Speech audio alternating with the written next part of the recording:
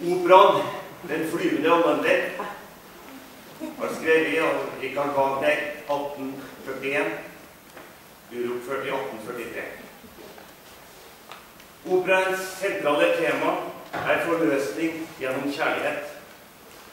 Historien kommer fra legenden om den flyvende Amanda, som er en skipskaptein dømt til å seile på de syv hav inntil.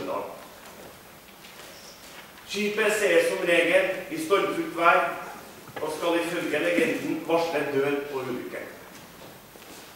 Vi skal høre åpningen av denne flyvende venner, hvor et norsk skip med norsk mannskap søker by utenfor sørlandskysten.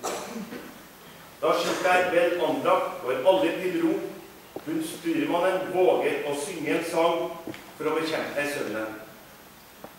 Men han døser og hen.